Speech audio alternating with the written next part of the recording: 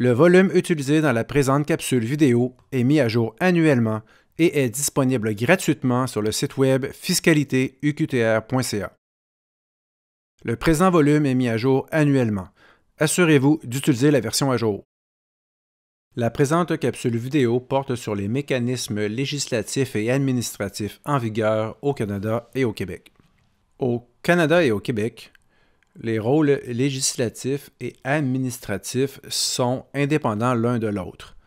C'est donc dire que chacun de ces rôles relève d'une équipe de fonctionnaires différents, donc d'un ministère différent, et est chapeauté aussi par un ministre différent. C'est ce que les juristes appellent la séparation des pouvoirs législatifs et administratifs. Cette séparation est très précieuse. Plus précisément, le rôle législatif est celui de légiférer le texte de loi. Donc, en amont, il s'agit de consulter la population, d'analyser les euh, pour et les contre d'une législation envisagée et de déterminer si oui ou non une mesure fiscale doit être légiférée. Finalement, le rôle du législateur consiste aussi à rédiger le texte de loi tel que nous le retrouvons dans la loi de l'impôt sur le revenu. Le rôle administratif, quant à lui, est celui de faire appliquer la loi. Donc l'organisme qui est responsable de faire appliquer la loi n'est pas le même organisme qui a rédigé la loi.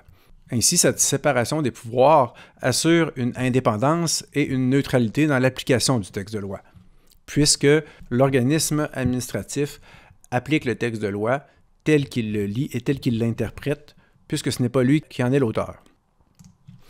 Cette séparation des pouvoirs législatifs et administratifs est très précieux. Et c'est une chose que l'on retrouve dans tous les États de droit. A contrario, dans certains États où les mêmes personnes ou groupes de personnes ont à la fois le rôle de rédiger les textes de loi et de les faire appliquer, s'en trouve souvent une érode du droit des citoyens et euh, parfois même euh, cela s'approche d'une dictature.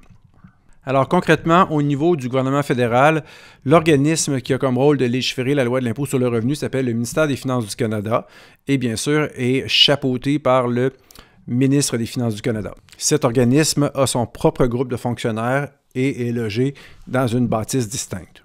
L'organisme administratif au fédéral s'appelle l'Agence du revenu du Canada, qui a comme rôle de faire appliquer la loi de l'impôt sur le revenu.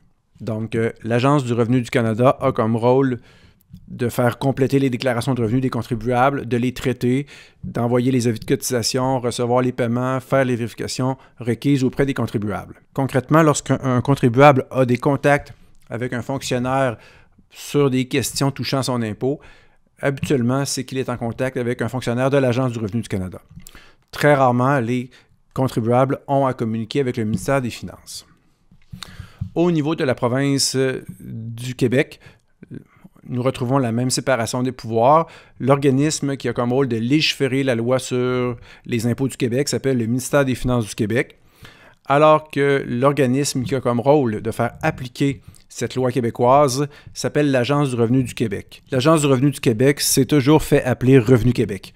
Donc, c'est sous cette appellation-là que les, gens la connaissent au Québec.